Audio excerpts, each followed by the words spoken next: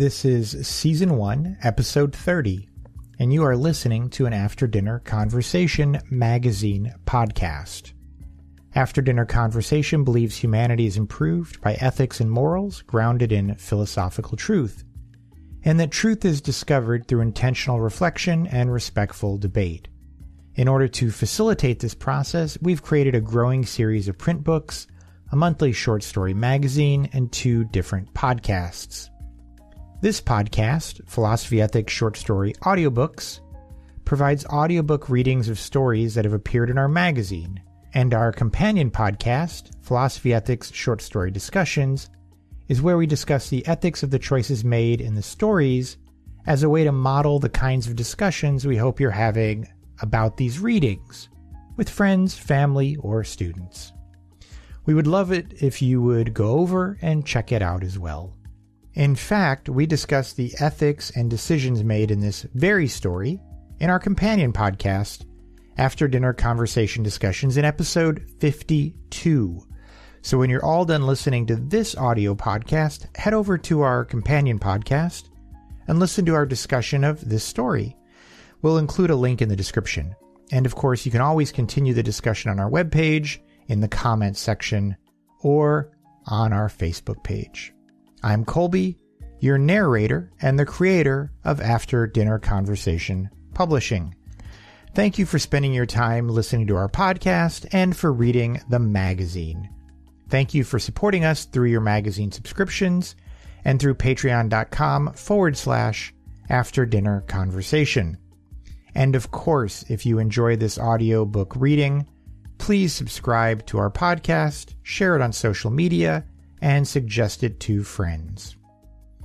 Today's story is by James A. Hartley, and it is in our May 2021 magazine. The title of it is Guilt-Edge Security. I sat beside the bar, rubbing my glass across polished mahogany and watching trails of moisture it left behind. It must have cost them a fortune to ship real wood way out to the rim. It didn't look synthetic. I looked over at the barman and he tossed his head, then went back to polishing the glasses. Real authentic stuff. I was nursing my fourth bourbon when the guy walked in. He was a florid, heavy-set guy, and I could just tell he was a salesman. He had the suit, he had the haircut, and he had the little case. Maybe things would have been different if it had been a different night. He swaggered up to the bar and planted himself like he owned the place. Maybe he did. He raised two fingers and the barman filled a glass with what looked like scotch. He drained the first one quickly, then signaled for another. When his second arrived, he turned to scan the bar. I studied him out of the corner of my eye. Finally, he turned and looked at me, nodded, and smiled. Another quick circuit of the room, and he slid his drink down the bar toward me. Hey, Mac, he said to me. Mind if I join you? I shrugged and motioned to the place beside me. Looking back, that might have been the big mistake. You're in the game, right? he said. You look the sort. Marketing and sales, right? No other reason for being out in this backwater. Let me guess. You're from Earth. I nodded and he grinned. Yeah, me too, Jack. Jack Davis is the name. He thrust a meaty paw toward me, and I shook it. Steve Walker, I said. So what are you drinking, Steve? he said. I pointed at my bourbon, and he motioned to the barman and pointed to both our glasses. I didn't mind. If this Jack Davis was going to buy me drinks, I could put up with a pitch. I guessed that that's what was coming. If I listened, he'd probably buy me drinks all night. I wouldn't have to sign anything, and I'd walk away at the end several bourbons better off. Well, Steve, it's lucky I ran across you. You and me being in the same game, you'll understand what I'm talking about. Let me ask you a question, Steve. What do you think about integrity? It was a funny sort of question. How do you mean? Well, you know, you and me both. We're in sales. Is integrity a part of that? I still don't. Okay, Maybe I need to make it a bit clearer. You ever heard of a place called Galapienzo? I pressed my lips together and shook my head. He nodded. Yeah, well, neither had I. Then I sort of bumped into the place. You know how it is.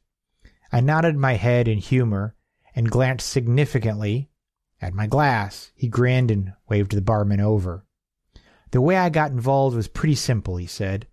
I'd been doing the rim, selling a line of high tech components to the emerging markets. Some of those rim worlds had a lot of promise at the time. The returns were meager, but you have to have vision in this game, am I right? I nodded and looked attentive. The bourbon was good. You sell them a bit of tech, they build on that. Then they start wanting bigger and better things. It was a good market, or at least it had potential to be. I was just on the verge of getting somewhere with my collection of rim worlds when I ran into Galapienzo. I got too greedy, I suppose, wanted to add one more sleeper to the list. I didn't know too much about the place at the time. It had all the right criteria out on the rim, fairly isolated, not in the commercial mainstream. I thought it would be easy. Maybe if I'd gotten there about two centuries earlier. Oh, I did business there, good business. But in a place like Galapienzo, good business takes time. I was starting to wonder if this was a pitch at all. The things Davis was saying made sense. I knew what it was like out there at the hard edge on the rim. The thing about doing business in a society like this, you got to be able to work the hierarchies. That takes patience. I had to grease the right palms, get to know the connections and the faces. That led me to other names and faces. Gradually, my network started to grow. Word of mouth is the best sales tool you can get. Am I right? Yeah, don't I know it, I said. That's why we're out here pounding the beat, winning their confidence. Right, Steve, said Davis. Well, Galapalenzans were a cautious lot, always looking for the sting. They drew the process out. I was there maybe two, three months in all. Long enough to work out how the place worked, long enough to know that the only way I was going to do real business was with the Lord himself. Now, that's only a title, Steve. He's not a deity or anything, though he might as well have been. Sheesh, you could have seen this guy. I smiled. I'd known a few like him in my time. Anyway, one of the first things I learned about that.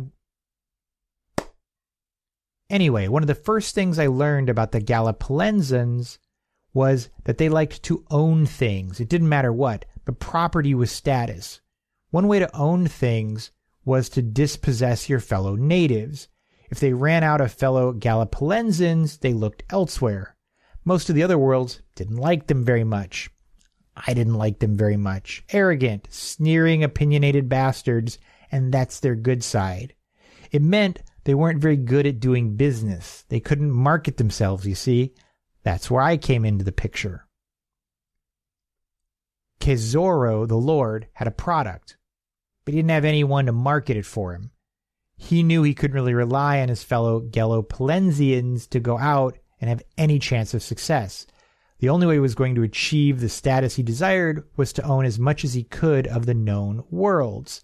The only way to do that was to take out rights on the basic integrity of a few key individuals, possession by proxy. Suddenly I was confused again. I had no idea what he was talking about, but the man was buying my drink, so I persisted. What do you mean by rights on integrity, Jack? I don't see how that factors in. Davis sipped at his scotch and put down his glass. He ran his fingers through the beaded moisture on its side, then turned and fixed me with a serious expression. Listen, Steve, he said after a long pause.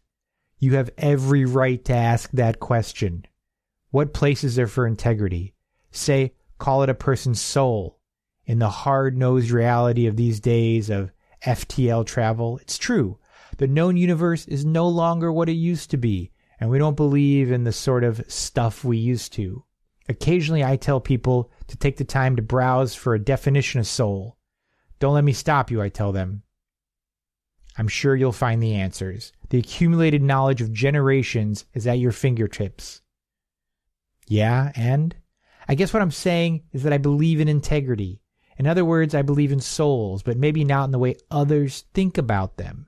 It's a question of morality. For me, the soul is about having the ability to choose, to make your own decisions based upon your own understanding of what's right and wrong.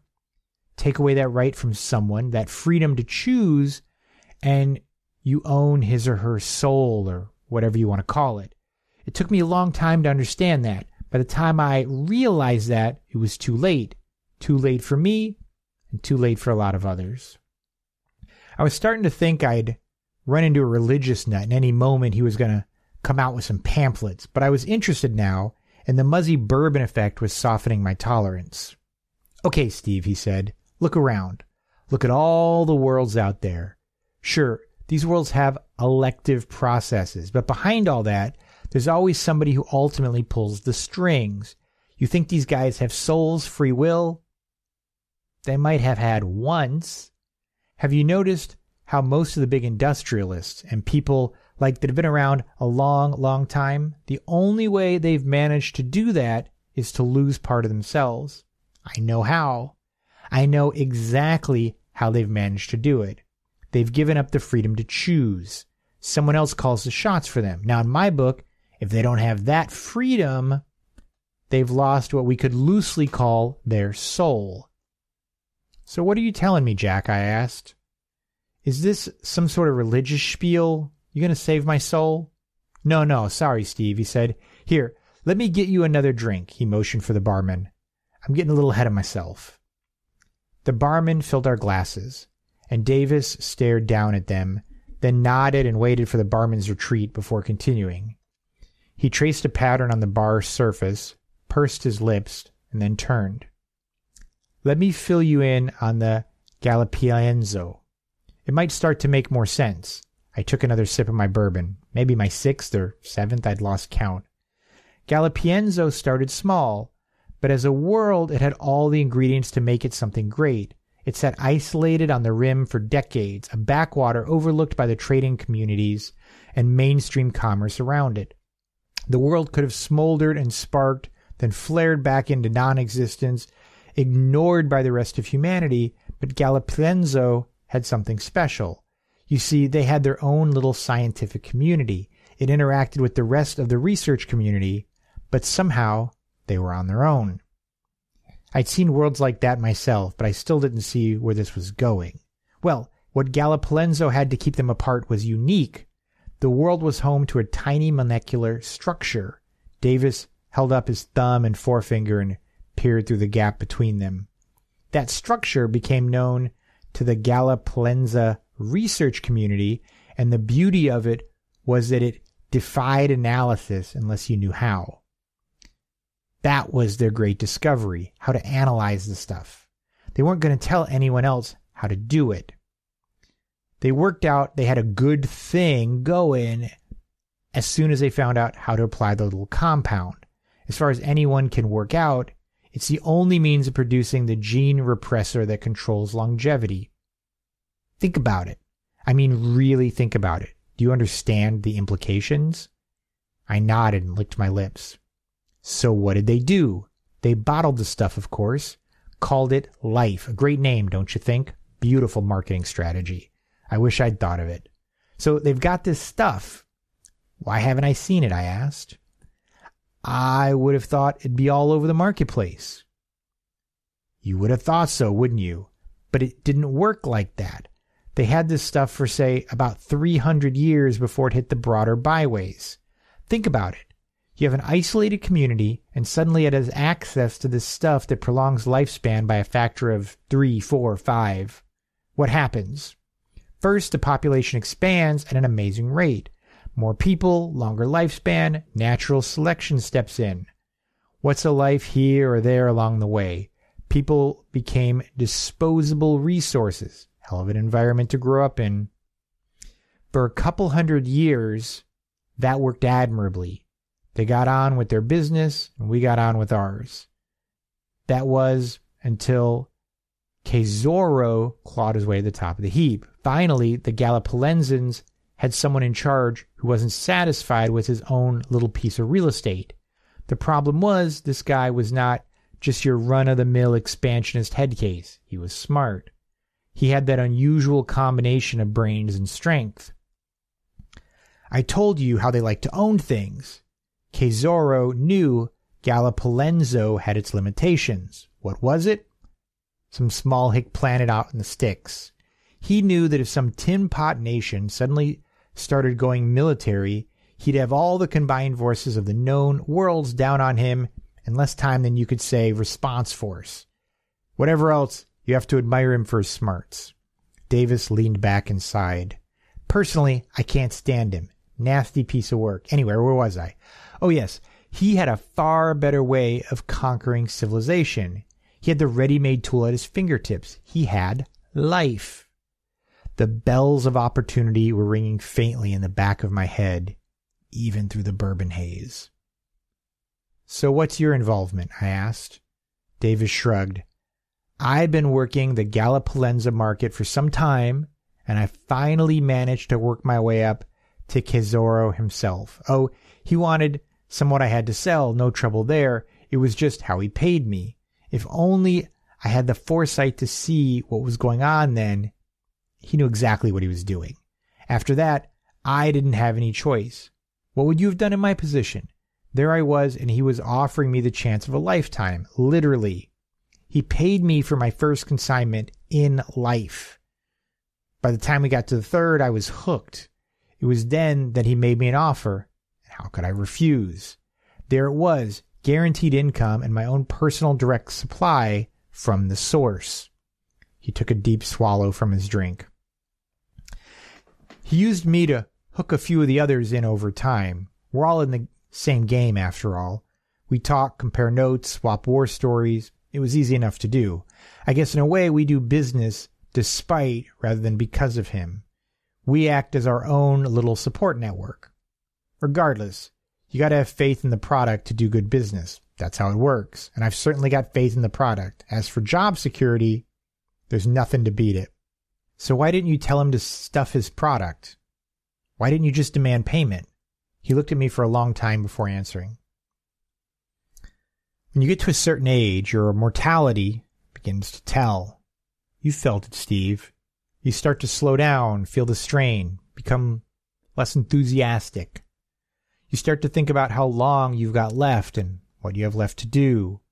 How can you seriously pass up an opportunity like that? You can't. You'd sell your soul for the chance to escape that terminus. Anyone would. And that applies just as much to your leading industrialists and power brokers across the known worlds. You see what I was talking about with souls before? Kesaro knew that, and he knew the power it could give him. Just imagine the prospect of having the means to deny death within the palm of your hand. What would you give to have that power? He knew he had me. I nodded slowly. Davis continued looking at me intently. Remember how I asked you about integrity? Uh huh. Well, the truth of it is, I never had any intention of compromising my integrity. You have to understand that. When it came to it, I didn't have much choice. Doing business across the multiple worlds can be a hell of a task at the best of times. But with Kesaro calling the shots, it was really difficult. Integrity just didn't come into it. I suppose I could have had a choice, but he owned me by then. What could I do? Davis retrieved his case from the floor, flipped it open, and reached inside. Look at me, he said, without looking at me. How old do you think I am? Forty? Fifty? Well, I'll tell you. 206th next birthday. I almost dropped my glass. Davis smiled and nodded slowly. Anyway, I've been talking to you for too long. He reached into the case and pulled something out. Here, let me leave you with this. It's just a sampler of our new product line. We call it Rejuve. Cute little bottle. See the way it glows? That one's yours to keep. Um, thanks, I said, looking down at the small glass tube lying in my hand. Davis got to his feet. Well, it's been good to meet you, Steve. I'll see you next time I'm through this way, in about eight years. We'll talk some then. You'll be here. He nodded to the barman and walked out. That was eight years ago to the day. Now I'm sitting in that same bar. Maybe if I'd realized what a good pitch it was, things would have been different, but I didn't, and I'm sitting watching the door, hoping that he'll show. There's a half full glass of bourbon on the bar beside me and a small, empty bottle in my hand. The end.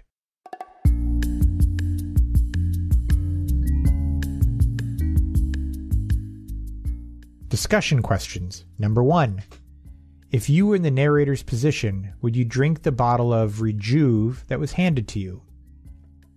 Assuming you did drink the bottle of Rejuve and it did work as advertised, would you go back for more of it eight years later? Number three. What would you change about the way you live your life if you knew you were going to live 400 or 500 years? Question four. Does the threat of impending death affect how you live your life? In what way? Does knowing you have a limited amount of time make each day and each choice more precious? Would a nearly unlimited lifespan spoil that preciousness and urgency? And question number five. Kezoro believed that if too many people knew they had discovered life, they would be invaded for their resource. Do you agree? How is this pattern similar or different compared to when a country on Earth discovers it has an abundance of a limited resource, like oil or diamonds? If you enjoyed this story, head over to our companion podcast, After Dinner Conversation Discussions, episode 52, and listen to our discussion of this and other short stories from our magazine. We will include a link in the description. And of course, you can always continue the discussion on our webpage in the comments section or on our Facebook page. Have a great day. Next week, listen to Grandma Ruth's Up Truck Stop. Have a great day.